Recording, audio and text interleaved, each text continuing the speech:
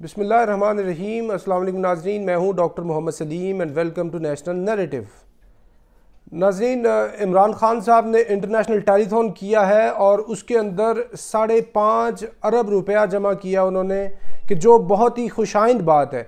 सैलाब से जो मुतासर जो लोग हैं, उनको तो इस वक्त पाई पाई की ज़रूरत है और ख़ान साहब ने बावजूद उनके ऊपर इतनी ज़्यादा पाबंदी के टेररिज्म के पर्चे के, ये उन्होंने इनिशिएटिव लिया है जो उनका पाकिस्तान से प्यार और कौम के दर्द की वाज अलामत है। और chief justice Islamabad high court justice Athar Minallah साहब ने भी टेम्पररीली जो उनके ऊपर पाबंदी थी लाइव चाने की, वो ख़त्म की। तो फिर मीडिया ने उनको दिखाया और ख़ान साहब ने कम बेश आठ लाख फ़ी सेकंड के हिसाब से ये रकम जमा की और पाकिस्तानियों ने, अंदरून मुल्क और बैरून मुल्क से इतने ज़्यादा फंड्स उनको दिए हैं, मिलियंस के हिसाब से और अतमाद का इजहार किया है ख़ान साहब पे और प्रूफ कर दिया है कि along with other things he is the chief philanthropist in Pakistan और ये जो पाँच, साढ़े पाँच अरब रुपया उन्होंने जमा किया है, ये कई मुल्कों ने जो पाकिस्तान की इमदाद की है, उससे भी बहुत ज़्यादा है। तो ऐसी सूरत में जब सैलाब जदगान जो हैं, वो पूरे मुल्क की तरफ़ देख रहे हैं तो उसमें इमरान ख़ान ने ये काम किया है और उन्होंने इंटीग्रेशन की बात की है, पाकिस्तानिज़म की बात की है, ये पैट्रियाटिज़म का वाज सबूत है। तो इस सूरत में एक और सवाल ये पैदा होता है कि ये जो दर्द दिल रखने वाले पाकिस्तानी हैं, अंदरून और बैरून मुल्क, वो तो कसीर तादाद में पैसे दे रहे हैं, लेकिन ये वो लोग जिन्होंने पूरे पाकिस्तान का सरमाया लूटा हुआ है, ये जो कमोबेश दो तीन सौ ख़ानदान हैं, वो क्यों नहीं सैलाब के अंदर आगे आ रहे वो क्यों नहीं वो पैसों को अपने जो ख़जाने के मुँह हैं, उनका थोड़ा सा वो हिस्सा इसके अंदर खोल दें। उन्होंने अरबों खरबों रुपया पाकिस्तान का जमा किया हुआ है और इधर और बाहर के मुल्क उन्होंने पैसे रखे हुए हैं तो उनसे पैसा जो वसूल करने की क्या सबील है? देखिए, इससे ज़्यादा क्या क्यामत आ सकती है कि कमोबेश पाकिस्तान का एक तिहाई सैलाब की जद में है इस वक्त। और पाकिस्तान को अब तक till date the moment I am talking to you people तो वो कम अज़ कम 10 बिलियन डॉलर का नुकसान हो चुका है। मिलियंस के हिसाब से मवेशी गए और मिलियंस के हिसाब से घर और हज़ारों के हिसाब से देहात और सैकड़ों, बल्कि हज़ारों किलोमीटर्स की जो सड़कें वो तबाह हो चुकी हैं। तो इन लोगों की क्या कंट्रीब्यूशन है? जो पूरे मुल्क को पिछले पचहत्तर सालों से जूकों की तरह चिमटे हुए हैं। तो क्या इनके ऊपर कोई फ़र्ज़ नहीं है कि ये बीच में कुछ इमदाद करें, कोई कंट्रीब्यूट करें, जिनकी इतनी इतनी बड़ी शुगर मिल्स हैं, जो इतने बड़े प्रॉपर्टी के टाइकून्स हैं, जिनकी अंदरून, बैरून मुल्क बिलियंस ऑफ़ डॉलर्स की प्रॉपर्टीज़ हैं। ये दो तीन सौ ख़ानदान।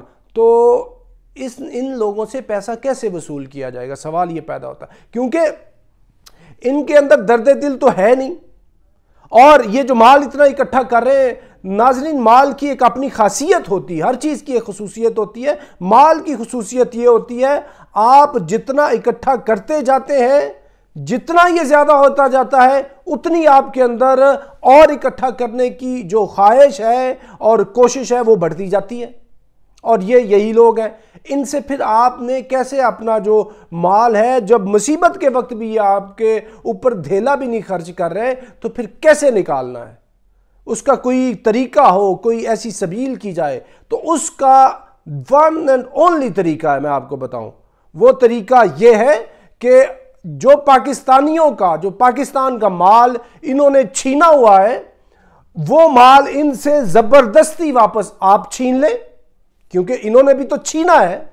इन्होंने लूट खसूट की है, मुल्क को लूटा हुआ है और अवाम पाकिस्तान और मुल्क पाकिस्तान के सारे खजाने लूटे हुए हैं। ये बिलियंस ऑफ़ डॉलर्स की अंदरून बैरून मुल्क इनकी प्रॉपर्टीज़ हैं। तो छीना हुआ माल कभी दरख्वास्त से वापस आया करता है?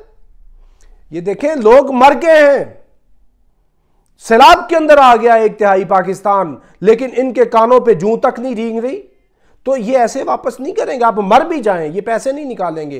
तो इन्होंने जो अवामी दौलत छीनी है तो अवामी ताकत से आप इनसे अवामी दौलत छीन लें। और ये डरे ये लोग उस वक्त से, जब अवामी ताकत आके इनके गिरोबानों को पकड़ेगी और अपना जो माल है इनकी जेबों के अंदर से वापस लेगी। इसकी छोटी सी झलक, ये हमने कपल ऑफ़ डेज़ बैक देखी है लाहौर, पाकिस्तान के अंदर, कराची के अंदर, कि जब लोग सड़कों पे आए, बिजली के बिलों के खिलाफ एहतजाज कर रहे थे ये बिजली की कंपनियों और हुकूमत पाकिस्तान के खिलाफ, और लोग किसी से काबू नहीं आ रहे थे। और फिर ये ऐसा वक्त आएगा, जो बहुत ही एक परेशानी की बात होगी। तो इनको कोई थोड़ा बहुत कोई शर्म, कोई हया होनी चाहिए, कि एक परसेंट ही कम अज़ कम ये अपने ख़जानों का जो वो एक परसेंट बनता है, वो सैलाब के अंदर कंट्रीब्यूट करें। अगर नहीं करेंगे तो टाइम दूर नहीं है कि जब इनसे अवामी दौलत वापस छीन ली जाएगी। तो नाजरीन, इसके साथ एक और आपको छोटी सी बात करूँ कि इंडिया के अंदर जो बिल्किस बानो केस है, जो गैंग रेप केस है 2002 का, जिसके अंदर 11 लोगों ने ये गैंग रेप भी किया बिल्किस बानो को, जो प्रेग्नेंट खातून थी, और इन्होंने 14 लोगों को साथ कत्ल भी किया। उसके ऊपर जो गुजरात की सरकार है, उसने इनको दोबारा से वो रिलीज़ कर दिया है, और इसके अगेंस्ट इंडियन एडमिनिस्ट्रेटिव सर्विस के कोई कमोबेश एक सौ चौंतीस सबक भारतीय अफसरान हैं। उन्होंने सुप्रीम कोर्ट को लिखा है और चीफ जस्टिस अदय उमेश ललित से एक दरख्वास्त की है कि ये जो इनकी रिहाई की गई है, इसको मनसूख किया जाए और इनकी जो सज़ा बनती है, उसको सज़ा को आप पूरा होने दें। और बजाय मौजूदा कवानीन के, आप उन्नीस सौ बानवे के कवानीन के तहत इनको दोबारा से रिलीफ दे रहे तो ये पूरे भारत के मुँह पे तमाचा है। अगर ये लोग छूट जाएँ और इससे जो इंडिया के अंदर गैंग रेप हैं, जो हर साल हज़ारों की तादाद में होते हैं, वो गैंग रेप्स बढ़ेंगे तो इंडिया का इमेज जो होगा वो बहुत ही टार्निश्ड हो जाएगा और वैसे भी ये ऑलरेडी ही बहुत ही भयानक इसका इमेज है कि अमेरिका ने भी इसको ब्लैक लिस्ट में डाला हुआ है ह्यूमन राइट्स वॉच ने भी डाला हुआ है। तो ऐसी सूरत के अंदर लगता यह है कि हिंदुस्तान के अंदर कुछ ज़िंदा ज़मीर रखने वाले, जो इंसानियत का दर्द रखने वाले लोग वो मौजूद हैं और ये जो उनका कॉन्स्टिट्यूशनल कंडक्ट ग्रुप है सीसीजी उसके प्लेटफॉर्म से इन्होंने ये जो बात की है, ये बहुत ही ज़बरदस्त बात है। शायद कि नरेंद्र मोदी की हुकूमत इस पर थोड़ा नोटिस ले और ये इन्होंने जो की हुई गलती है, उसको ये वापस लें और इन दरिंदों को वापस जो इनकी सही जगह है, जेल उसके अंदर डालें ताकि इंसानियत के सामने पता हो कि हिंदुस्तान के अंदर कुछ ना कुछ तो इंसाफ जो है, उसका बोलबाला हो रहा है। तो नाजीन अब तक के लिए इतना up till next time thank you very much Pakistan, जिंदाबाद।